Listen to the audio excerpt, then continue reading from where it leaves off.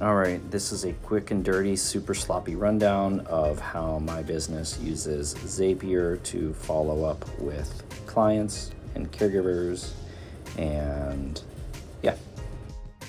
Okay, uh, real quick, uh, I guess demonstration on my current uses for Zapier. Um, so basically, this Zapier is uh, available for your team to download as uh, a desktop plugin. So we all use Chrome and we use the plugin a lot. So you can be logged into your uh, patient software uh, and whenever you have a client inquiry, a caregiver inquiry, uh, anytime somebody says something good, I have standard workflows uh, that my staff can use, uh, just so that we know that things are followed up with, we know that they're consistent. So, you know, one of the first, I guess, points of contact for a lot of us is client inquiries. So, right here, I developed this, and you can sort of tailor it to what you need. I developed a client inquiry sequence. So, this creates what is called a zap. What it is, is it's a trigger of events.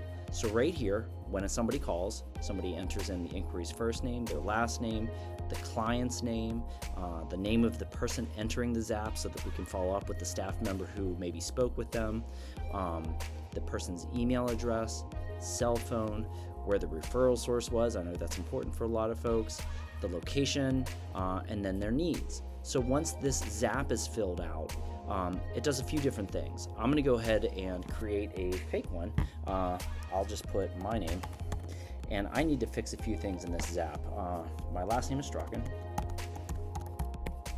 Uh, client name, we'll just say dad. Name of person entering the Zap, that would be me. I'll just say Abby. Services. Email address. I'm going to put my email address, Scott at my cell phone 239 218 referral source uh, we'll say google. Location fort myers. Needs um,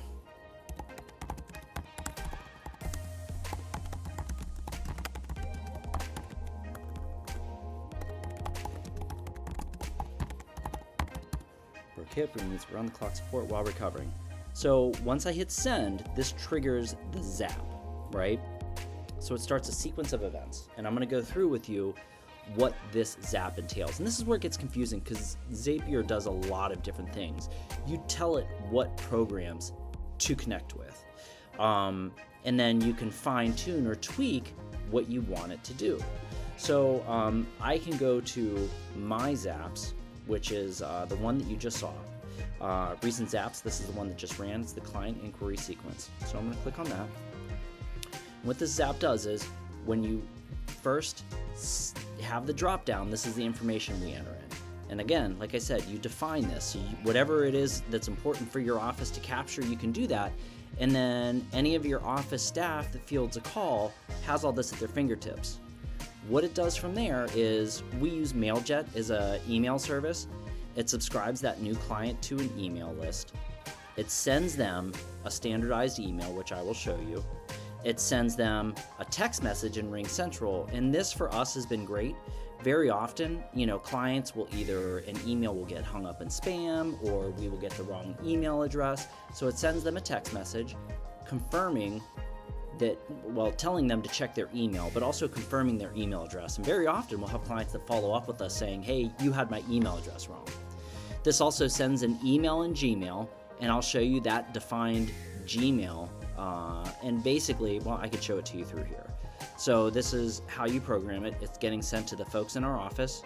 Um, it, these are the fields that you entered in. It tells you the client's name, blank, where they were located, was referred by, and it sends this nice email to everyone on our team. We call it the Woot Woot email. Um, also, after it does all this, you can set a delay.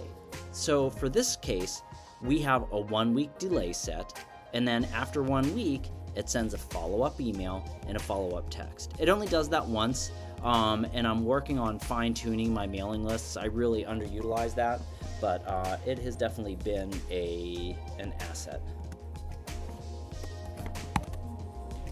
All right, so like I said, Zapier is hard to explain because it does so many different things. One of the things that it did was, pardon all my other text, there's my beautiful wife. Uh, right here, it sends a text, and this is the text message to the client.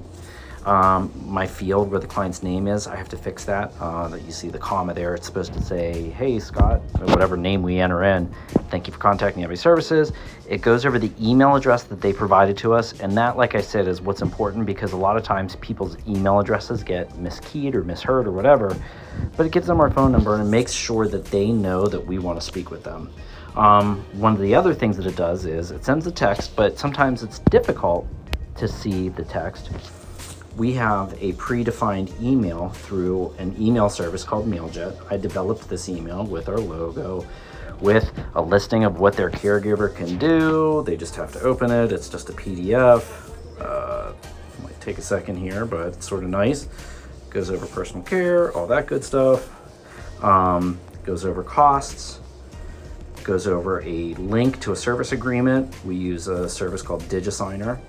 Um, so a lot of times clients can go ahead and just sign and get onboarded themselves and it's super easy, super simple. In essence, Zapier ties together unrelated, I guess, programs. So this is my email platform. Uh, this is where I have email templates and I develop mailing lists to utilize. It's not super overwhelming, but it does give you a polished look. Uh, I talked about the new client inquiry.